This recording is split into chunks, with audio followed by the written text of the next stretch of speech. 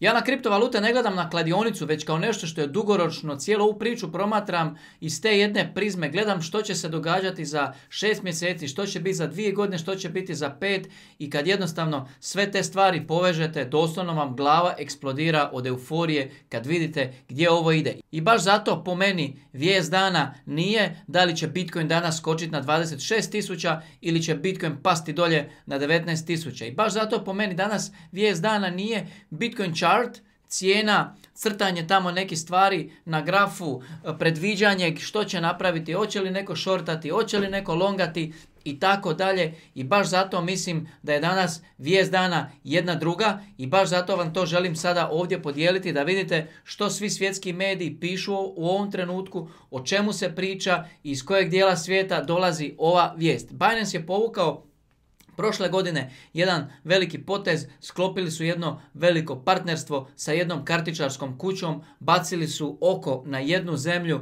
zemlju koja ima, sad ćete vidjeti koliko stanovništva glava boli kad vidite ove brojke.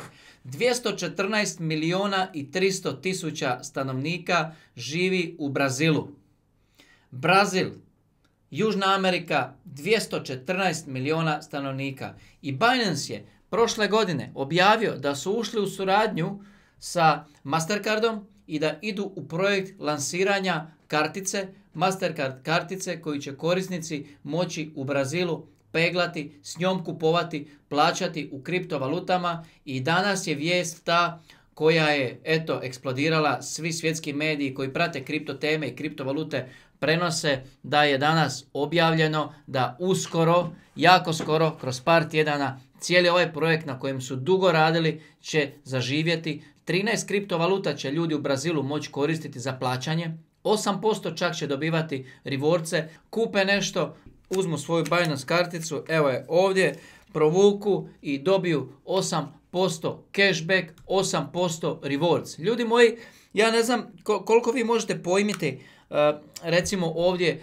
eh, Hrvatska, Slovenija, Srbija, Bosna, Makedonija, Crna Gora, sve ove zemlje kad se zbroje ovdje na Balkanu, 24 eh, milijuna stanovnika ima. I onda tek shvatite koliko postoje velikih zemalja na ovome svijetu i jedna ovakva suradnja koliko znači za kripto.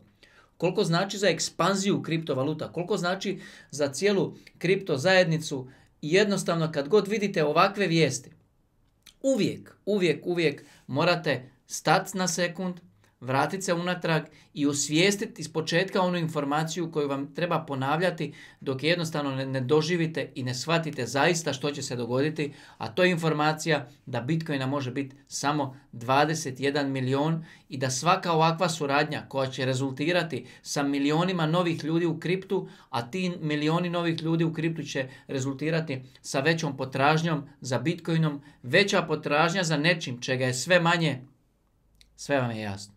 Thank you.